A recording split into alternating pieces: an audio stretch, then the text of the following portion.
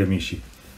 Un tubo cilindrico, un pennino, un cappuccio, questa è la forma essenziale in cui possiamo formalmente riconoscere una stilografica attraverso i tempi passati, i tempi presenti e verosimilmente anche nei tempi futuri. Se questo è vero, è però anche vero che questi tre elementi componenti hanno subito nei tempi una modulazione continua, plasmandosi nel percorrere la storia con noi, assorbendo e anche raccontando nelle, nelle loro forme tutte le nostre tensioni emotive, i nostri slanci culturali, i nostri momenti storici, belli, brutti, che si sono avvicendati lungo l'ultimo paio di secoli tanto che mh, l'analisi formale di una penna eh, rende possibile all'appassionato il poterla collocare al momento storico nel quale tale penna è stata prodotta. Facciamo un esempio. Per un appassionato di stilografiche, vedere una penna come questa in grafica farà subito pensare alla moda dilagante degli anni 70 dell'Aurora, dell'Aurora Astil, oppure vedere una forma a sigaro con le due estremità fusolate lo riporterà immediatamente agli anni 30 con la Scheffer Balance e così via attraverso tutta una serie di altri esempi. Naturalmente, data la complessità delle evoluzioni delle correnti stilistiche che hanno caratterizzato la storia dell'umanità negli ultimi 200 anni, l'esposizione che ho in mente di sviluppare sarà giocoforza veramente riduttiva.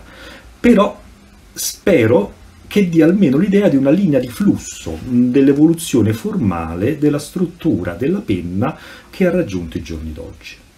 Per questo avrei pensato a un breve ciclo di appuntamenti che inizierà con una breve introduzione con questo video e nelle mie intenzioni dovrebbe entrare nel vivo nelle prossime edizioni per protarsi poi per qualche altro appuntamento da definire. Certo, è un argomento sicuramente un poco scolastico e sicuramente non, non possiede quella pill che sanno ben dare i miei amici del canale nel, nelle loro presentazioni. Per ogni famiglia la sua pecora nera. Siete ancora con me, nonostante il mio avvertimento? E allora, iniziamo. Iniziamo da questo primo appuntamento con, con le origini Mm, ovvero con una breve introduzione alla nascita della penna stilografica. No, non andate via, sedetevi nuovamente, vi prometto che non andremo troppo indietro nel tempo, lasceremo in pace per una volta i Sumeri, gli Egiziani, gli antichi Romani, gli scriptorium con gli amanuensi del Medioevo, che pure tanto hanno contribuito alla lunga storia della scrittura. Magari però fermiamoci soltanto un momento nel Settecento, in pieno illuminismo, ossia nel periodo del trionfo della ragione sulla superstizione e sull'ignoranza. In quel periodo storico, due eruditi francesi, Diderot e D'Alembert, che erano esponenti di un nutrito gruppo di intellettuali del tempo, parteciparono alla produzione della famosa enciclopedia, che era una sorta di elenco dello scibile umano di allora, e ponevano in descrizione l'utilizzo di un curioso strumento di scrittura con un pennino e un meccanismo per poterlo rifornire senza dover attingere a un calamaio. Beh, ottima citazione, se non fosse che a margine i due intellettuali precisavano che trattasi di cattivo strumento. Beh, non è certo una buona pubblicità per i primi passi della stilografica. Comunque, ormai l'idea di uno strumento autosufficiente di scrittura era ormai nell'aria, una sorta di mm, idea fissa, no? di ottenere uno strumento che si staccasse dalla schiavitù con il calamaio e fosse libero di allontanarsi dalla scrivania, ovvero un pennino collegato in qualche modo con una riserva di inchiostro eh, che permettesse in modo autonomo attenzione questo è il, modo, è il punto importante, in modo autonomo, di scrivere mh, a lungo, senza interruzioni, noiose, ripetute intenzioni. Beh, questa impresa tenne occupata una vasta categoria di artigiani e non Tanto per citarne alcuni, mh, le categorie degli orologiai, gioiellieri, orafi, tornitori, che comunque erano persone, gente, artigiani del settore, con interesse nel settore, ma sorprendentemente anche altre categorie che con l'artigianato avevano, diciamo, poco a che fare, farmacisti, medici, insegnanti, Praticamente tutte le, tutte le, categorie del lavoro hanno partecipato a questa corsa, a questa impresa, producendo centinaia di brevetti di cannelli di, di vario materiale, in genere in metallo. Era tutto un fiorire di studi di cannelli con all'interno tutta una serie di meccanismi, di matrici assorbenti, complicati meccanismi di valvole, rubinetti, vesciche comunicanti e quant'altro. Insomma, tutti i principi dell'idraulica, della meccanica furono chiamati in causa per costringere l'inchiostro verso il pennino o al contrario per ritirarlo quando necessario. Però l'inchiostro testardo prevedeva e prendeva tutte le sue rivincite e sceglieva invariabilmente tutte le fessure sbagliate per fuoriuscire imbrattando trionfalmente le mani, le tasche dell'incauto utilizzatore. Bene, per farla breve, bisognerà arrivare all'Ottocento, dove troveremo i primi veri e propri padri fondatori della storia della penna stilografica. E qui inizia una controversia sulla attribuzione della paternità del primo vero strumento di scrittura, che può a pieno titolo considerarsi una prima vera e propria stilografica. Da una parte il popolo rumeno evoca un tale Petrash Penaru, scusate la pronuncia, non so se sia quella idonea, che la storia ci dice di essere stato un signore veramente ingegnoso, era un pedagogo, ingegnere, un matematico. Questo signore, a dire degli amici rumeni, eh, già addirittura nella prima metà dell'Ottocento avrebbe brevettato la prima stilografica al mondo. Di fatto, come potete intuire dalla grafica, era una specie di cannello formato da una penna d'oca con una punta fissa che bisognava manualmente strizzare per far fluire l'inchiostro verso il pennino. Eh, ringrazio qui il signor Mario Baschirotto, che mi onoro di conoscere e che è una importante figura di collezionista di strumenti di scrittura ed accessori storici, eh, per avermi fornito la foto in grafica di questa rara copia della penna di Penaru realizzata per il 150 anno della sua nascita.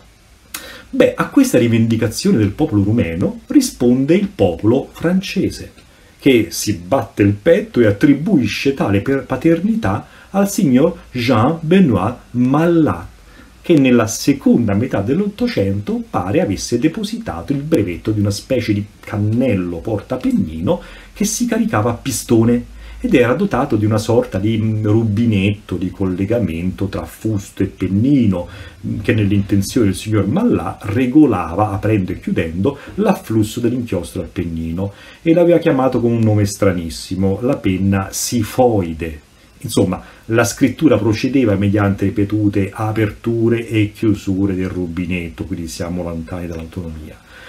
Anche la foto di questa rara penna sifoide viene per gentile concessione appunto dalla collezione del signor Mario Baschirotto. Beh, converrete con me che i due progetti di penna appena presentati, appena esposti, si presentano secondo me più come un anello di congiunzione con il vero concetto di penna stilografica.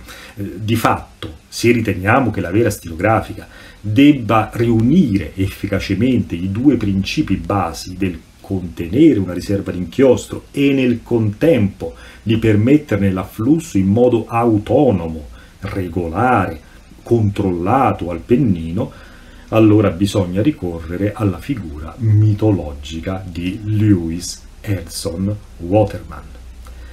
Verso la fine dell'Ottocento Waterman, il signor Waterman, svilupperà l'invenzione semplicemente rivoluzionaria dell'alimentatore multicanale, che per regolare l'afflusso dell'inchiostro al pennino sfruttava il principio della capillarità dei fluidi, ovvero quel fenomeno fisico che si verifica in tubi di piccola sezione, detti appunto capillari, quando immersi in un liquido diciamo che ne permettono come un'aspirazione.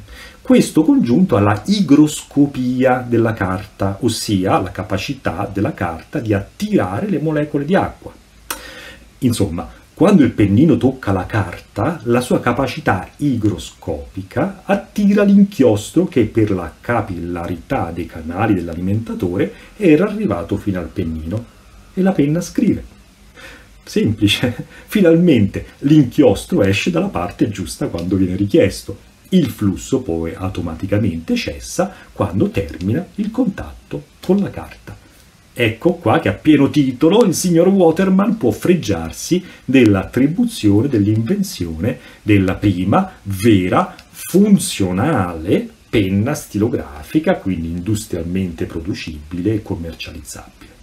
Bene, la prima stilografica è nata, la mia introduzione è terminata, ora siamo pronti a viaggiare nel tempo e seguire l'evoluzione formale della penna stilografica ma questo, per chi vorrà, lo vedremo a partire dal prossimo appuntamento, dove inizieremo a considerare insieme lo stile della prima produzione delle penne stilografiche e come questo stile ha avuto le sue prime evoluzioni fino all'alba degli anni venti. Io vi ringrazio e non mi rimane che augurarvi una buona giornata.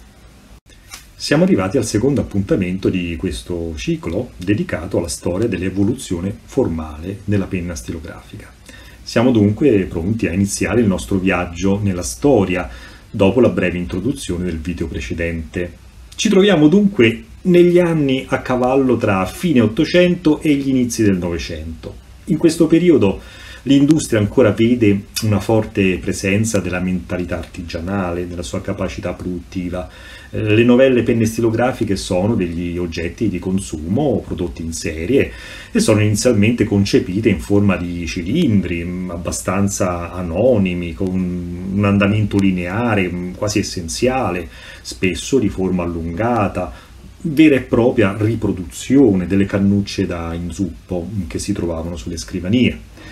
Il corpo stesso della penna fungeva da serbatoio in queste penne. In conseguenza il materiale con cui erano costruite queste prime stilografiche era l'ebanite, una gomma naturale che subiva un processo di indurimento con lo zolfo chiamato vulcanizzazione, che presentava il vantaggio di avere una resistenza elevata agli inchiostri di allora, la cui formulazione era molto aggressiva.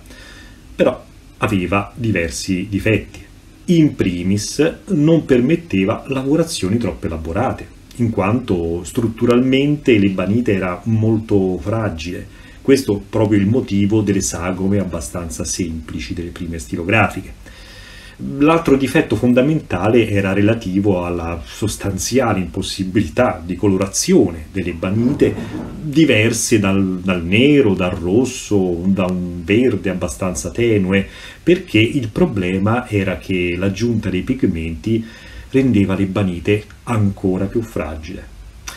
In questa foto proveniente dalla collezione del signor Mario Baschirotto, un grande collezionista che ho già avuto modo di citare e ringraziare nel video precedente, vediamo alcuni di questi primi modelli della stilografica in ebanite. Per questo motivo, per arricchire l'aspetto estetico delle penne e renderle più gradevoli, si fece inizialmente ricorso alla tecnica della cesellatura, ossia alla incisione della superficie delle banite e all'aggiunta occasionale eh, di bande d'oro di gusto ottocentesco, spesso molto utili anche per personalizzare la penna incidendo il nome o per riportare stemmi a volte nobiliari del proprietario. L'ebanite si prestava con relativa facilità alla cesellatura, mh, mm, ottenendo quello che i collezionisti chiamano black chesed hard rubber, ossia ebanite nera cesellata, sigla che appunto identifica le penne di questo, di questo, periodo. Le decorazioni più utilizzate seguivano degli schemi ricorrenti, ad esempio ondulati, a spina di pesce, a scacchi, che oltre a contribuire a migliorare l'estetica dell'oggetto, avevano anche il valore aggiunto di consentire una presa più salda, una presa più sicura insomma delle, delle dita, evitando quindi fastidiosi scivolamenti delle, delle mani sudate. Beh, questo non poteva certo bastare ai pochi signori della buona ed alta società del primo Novecento, che potevano permettersi tali innovativi strumenti di scrittura. La loro esigenza era quella di apparire nella società, di, di poter sfoggiare dei complementi alla loro persona all'altezza del loro rango e del loro ceto. Ed ecco quindi che si apre una nuova era, quella dei gioiellieri, dei decoratori, che riuscirono con le loro creazioni artistiche a rendere il nuovo strumento di scrittura unico e gradevole, per non sfigurare con i notevoli pezzi artistici che erano stati creati per la cannuccia da inzuppo e il relativo calamaio. In grafica vedete una pregevole cannuccia della collezione del signor Baschirotto con uno dei primissimi pennini in oro e potete apprezzare anche un pregevole calamaio d'epoca. Queste erano le opere verso le quali si dovevano confrontare le povere neonate penne stilografiche. Ed ecco quindi che gli artigiani orafi iniziano a vestire a festa le penne, utilizzando la tecnica del rivestimento. Quindi l'ebanite di colore tenue e monotono venne dunque rivestita con lamine di metalli più o meno preziosi, fino ad arrivare addirittura all'argento al loro massiccio per i pezzi più preziosi, creando dunque quella categoria di penne chiamate genericamente laminate. Peraltro, tale tecnica, mh, mm, oltre a migliorare l'estetica, aveva anche un utilissimo scopo, quello di rafforzare la struttura della fragile banite, creando una sorta di armatura di contenimento. Prima di entrare nel merito dello stile di queste laminature, vorrei fare un'osservazione. Se la laminatura viene dichiarata in oro, dobbiamo sempre e comunque trovare la punzonatura della caratura, che deve essere espressa come 14-18 carati. Quando invece vediamo punzonata la sigla 14 o 18 KR, quindi seguita da una R, dobbiamo intenderla come carati rinforzati, ossia mm, la intendiamo con una buona placcatura di oro sopra un metallo sottostante insomma quello che gli anglosassoni chiamano gold filled, rolled gold, quindi non abbiamo a che fare con oro mm, diciamo massiccio, ma con una buona placcatura, ossia uno strato di una decina di micron di oro posto sopra una lamina di metallo comune, tipo ottone. Quando lo strato d'oro invece scende sotto circa i 3 micron si parla di, di comune doratura. Francesi e italiani primeggeranno nella realizzazione di questi rivestimenti decorativi, fino a creare dei veri e propri gioielli.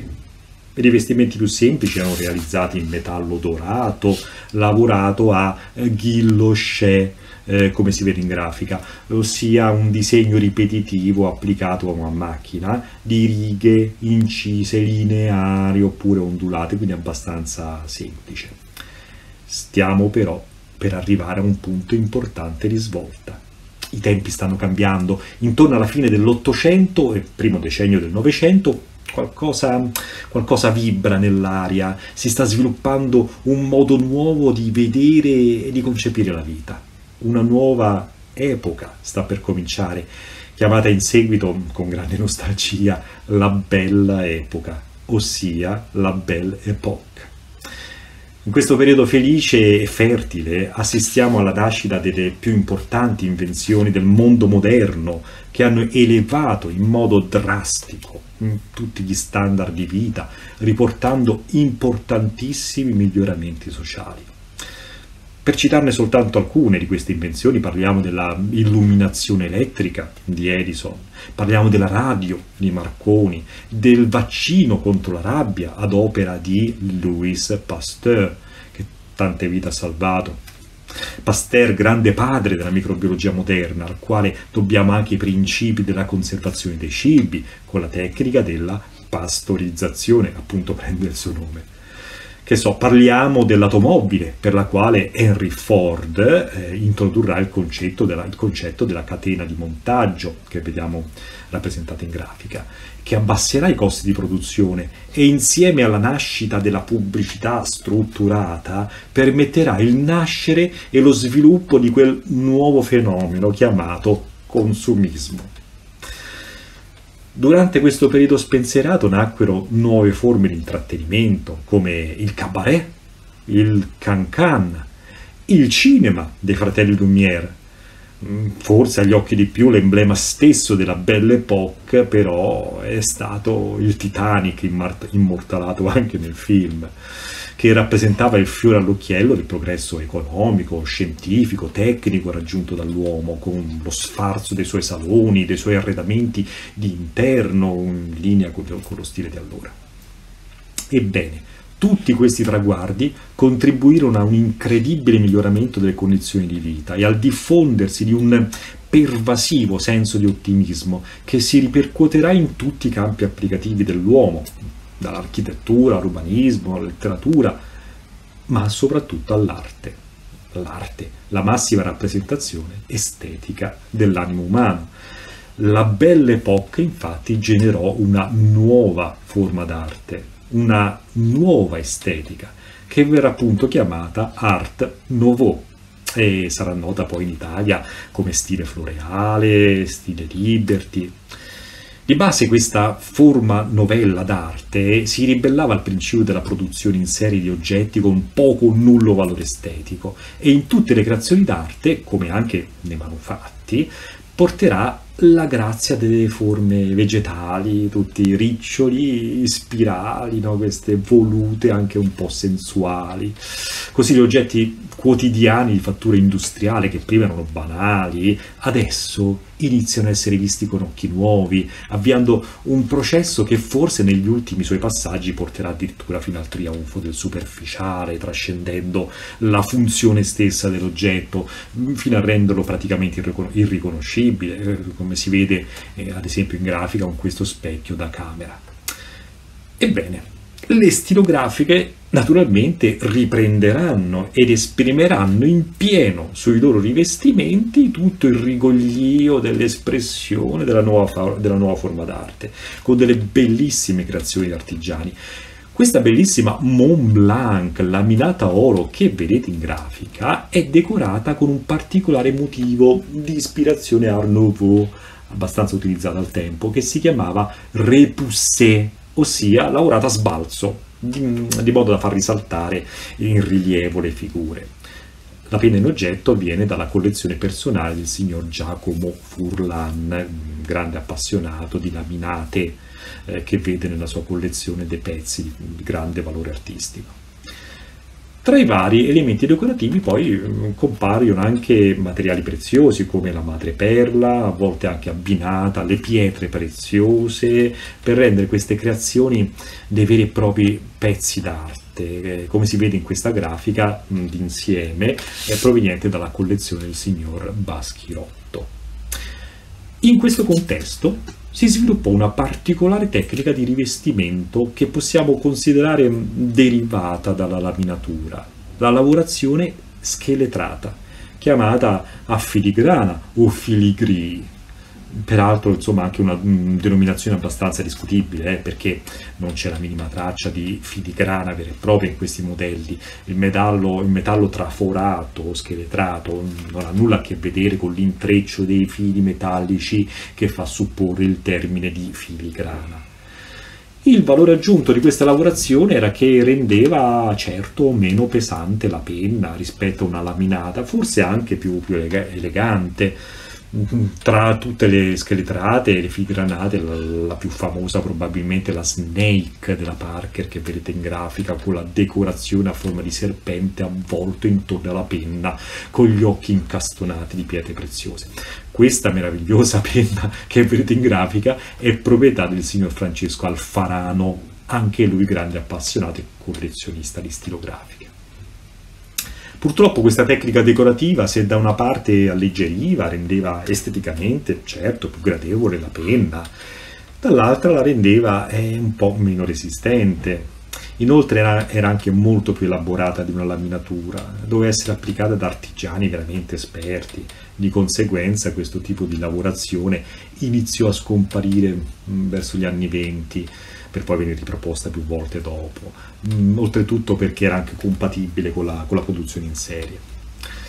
Da notare poi che spesso il rivestimento in filigrana, come anche la laminatura, veniva aggiunto in un secondo momento da gioiellieri, fabbricanti, a volte specializzati in questo procedimento. Pensiamo ad esempio alla Ullmans Eterno, alla Cosca, entrambe eh, ditte italiane particolarmente famose per la produzione di rivestimenti per penne in ebanite. Per questo motivo è infatti importante controllare la penna decorata a filigrana per verificare che sia proprio nata così Per questo la prima cosa da verificare è se sotto la filigrana non si veda una lavorazione precedente, l'ebanite cesellata, iscrizioni di alcun tipo che farebbero subito pensare a un'aggiunta successiva. Siamo arrivati alla fine di questo nostro secondo appuntamento e non posso trattenervi oltre. Mi fermo qui, sperando di avervi intrattenuto con una storia interessante. E ci rivedremo, per chi vorrà, in un terzo appuntamento. Salve amici! Ci siamo lasciati nell'ultimo video in quel clima di spensieratezza generale caratterizzato da quel pervasivo sentimento di ottimismo conferito dal pensiero della Belle Époque, tipico dei primi anni della prima decina del Novecento. Proseguiamo quindi nel nostro viaggio. Mm, ecco che delle nubi minacciose, foriere di guerra, si addensano all'orizzonte clima generale di ottimismo spensierato della Belle Époque di quel primo decennio del Novecento verrà spazzato via da un evento drammatico che scuoterà il mondo degli equilibri internazionali di allora. Da Sarajevo arriva la notizia che l'arciduca d'Austria Francesco Ferdinando e la moglie sono stati assassinati da uno studente serbo.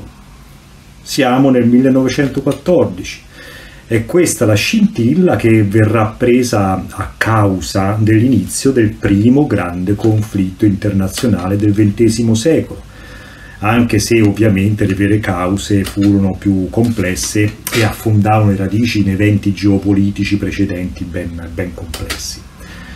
Sulla scena politica si formano dunque due fronti contrapposti che riuniscono le potenze di allora, come vedete in grafica, la triplice alleanza da una parte, formata da Germania, Austria e Italia, e dall'altra parte quello della triplice intesa, formata da Regno Unito, Francia e Russia.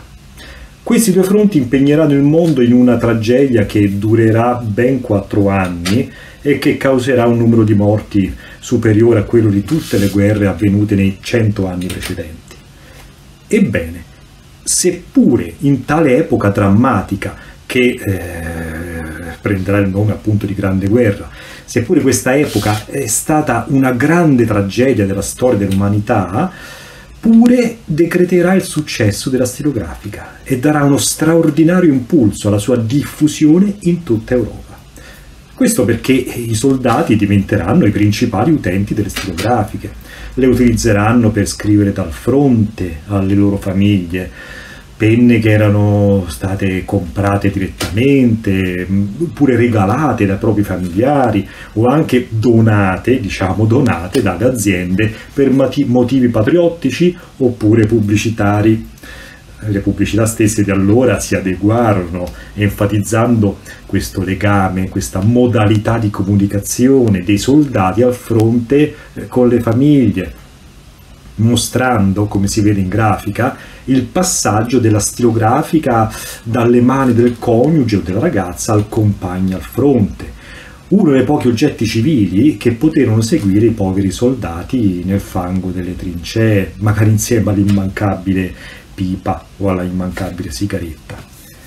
Ebbene sì, la triste novità della Grande Guerra fu l'aver introdotto in modo massivo il concetto di guerra di posizione in trincea.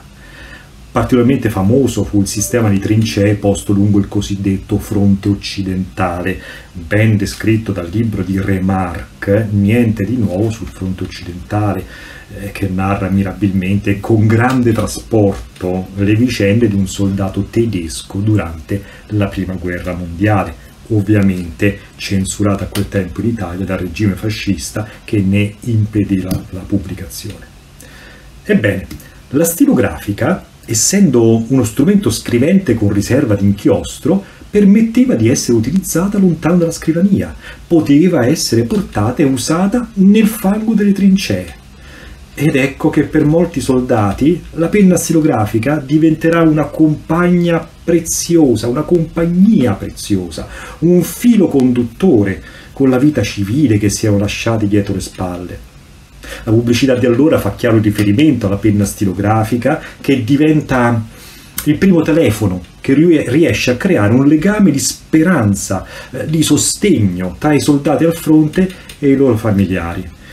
Questo i comandi militari di tutte le nazioni coinvolte nel conflitto, specialmente quello britannico, lo avevano recepito appieno, riconoscendo grande importanza alla, della comunicazione con le famiglie per il morale delle truppe. La cronaca di allora ci racconta che le lettere al fronte incredibilmente venivano normalmente spedite e ricevute nel giro di pochi giorni dall'invio, cosa che neanche oggi praticamente. Questo perché l'esercito considerava la consegna della corrispondenza di uguale importanza, la, la consegna di razioni, munizioni, vettovagliamento per lo sforzo appunto bellico complessivo. Forse quindi potremmo ascrivere alla stilografica il merito civile di aver reso la prima guerra mondiale forse, forse un poco più sopportabile per i ragazzi che si trovavano spediti in prima linea, destinati a una guerra sfiancante, di posizione, che non capivano, mentre nel loro paese tante cose dovevano essere eh, seguite, fatte. È possibile leggere in rete eh, queste lettere di soldati al fronte e in genere, oltre alla parte emotiva e affettiva della lettera, sono ricche di istruzioni minuziose per il raccolto, la vendemmia, la cura dei campi e degli, degli affari in genere.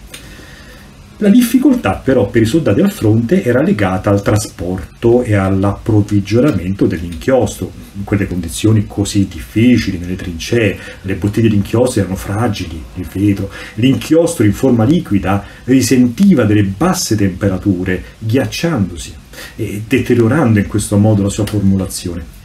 Ed ecco che in questo contesto nel 1916 la Parker introdusse la trench pen, ossia la penna da trincea, che faceva uso di inchiostro essiccato in forma di pastiglie da sciogliere in acqua.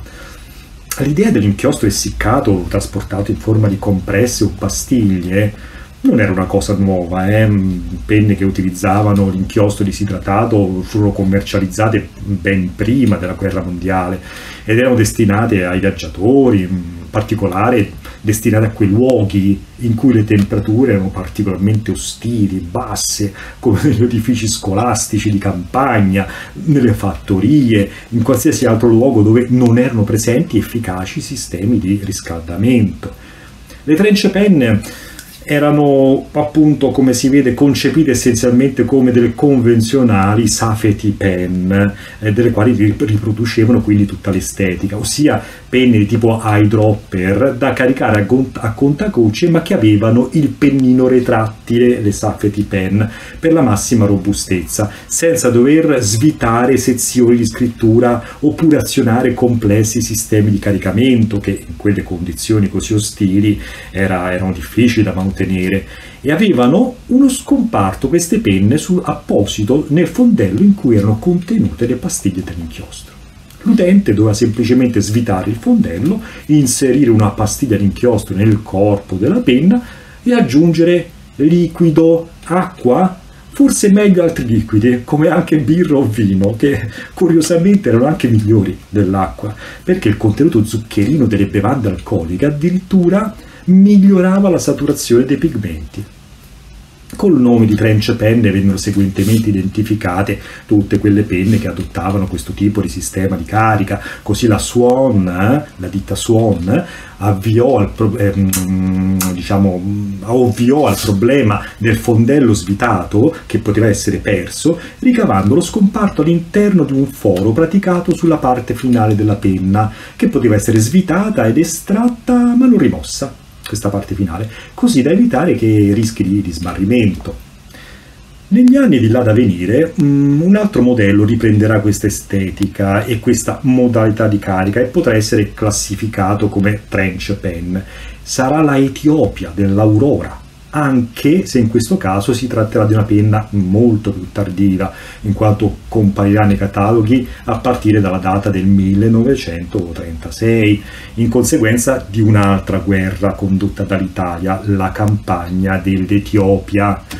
Eh, la campagna dell'Etiopia fu un conflitto altamente simbolico dove il regime fascista, condotto da Benito Mussolini, impiegò una grande quantità di mezzi propagandistici col, col doppio scopo strategico di consolidare le esigenze di prestigio internazionale e di risaltamento interno del regime stesso, con l'obiettivo a lungo termine di orientare eh, l'emigrazione italiana verso una nuova colonia popolata da italiani in Etiopia, quindi nella ricerca, nella sua ricerca di quello che proclamava il legittimo diritto a un posto al sole.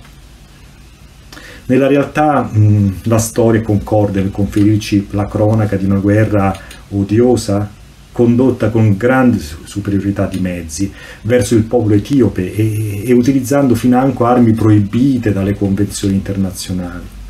Comunque, tornando alla penna etiopia dell'Aurora, siamo in regime, fascista, in pieno regime fascista e la penna era realizzata con il solito sistema di carica a pastiglie, sostanzialmente soltanto a scopo promozionale. Era poi decorata con una bella aquila per sfruttare la propaganda del regime eh, fascista, creando una penna celebrativa per la costituzione dell'impero.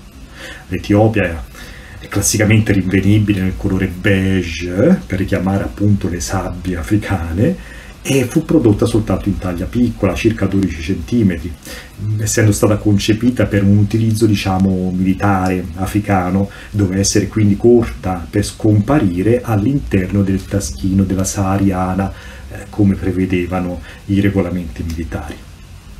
Di fatto non fu mai distribuita ai soldati, uscì come disponibilità classica standard sui cataloghi, anticipando, anticipando forse il concetto moderno di edizione speciale.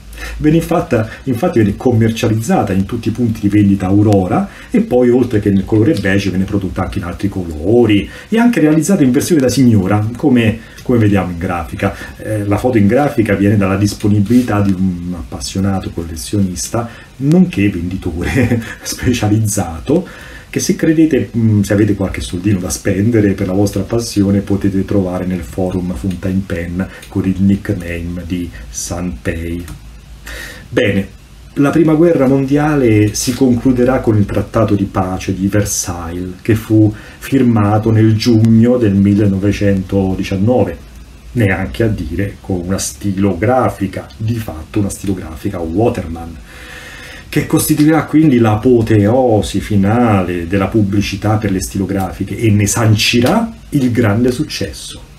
Ormai la stilografica è entrata a pieno titolo nell'uso quotidiano. Questo evento della dichiarazione e verrà ampiamente utilizzato dalla pubblicità di allora. La Waterman ritrarrà una sua pubblicità l'allegoria della pace in stile Art Nouveau del tempo, che in mano tiene una penna e nell'altra il trattato di pace. La Parker invece, ad esempio, raffigurerà un soldato che restituisce le sue armi sempre a una allegorica signora della pace in cambio neanche a dire di una penna. Molto bene. La prima guerra mondiale si è conclusa, anche se farà sentire i suoi pesanti strascichi nella geopolitica mondiale di molti anni a venire. L'eco dei cannoni si sta affievolendo e già l'aria vibra di un nuovo sentimento di speranza che si tradurrà in un nuovo sentire stilistico. Però noi siamo arrivati alla fine di questo ulteriore nostro appuntamento, non posso trattenervi oltre. Mi fermo quindi qui, sperando di avervi intrattenuto con una storia interessante e ci rivedremo, per chi vorrà, in un, successivo appuntamento, mm, probabilmente dopo la pausa estiva, dove assisteremo all'avvento di una nuova forma d'arte e all'esplosione del colore nel mondo delle stilografiche. Vi auguro una buona giornata.